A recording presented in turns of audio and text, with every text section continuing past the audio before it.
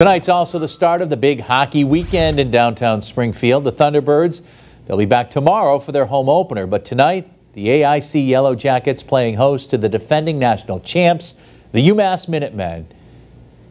And the final score, let's see, Minutemen by a wide margin, 5 to 1 over the Yellow Jackets.